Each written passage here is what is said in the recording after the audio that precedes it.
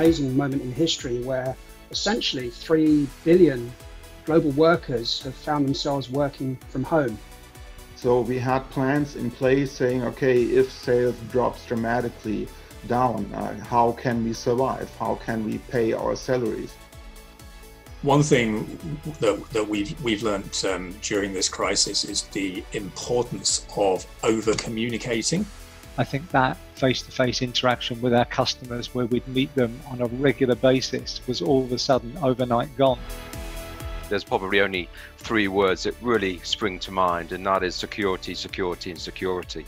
What is your ability to maintain business um, in the event of a crisis? I could see that joining the kind of uh, list of things that get added to contracts going forward.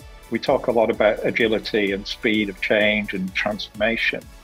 And I think for a lot of people, it's brought home to them that that just isn't possible without the right IT. I think we, you know, we went through the whole period of getting everybody working remotely from home and the, you know, the, the mad rush to do that. We were through that quite quickly. And then we're into, well, actually, how do we develop and adapt as a business now?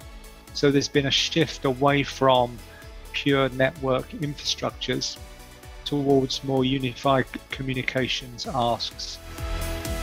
Everybody's tech at core, everybody's a digital company. Actually, it's true. And therefore, they need to get the IT right to enable them because they don't, they won't survive.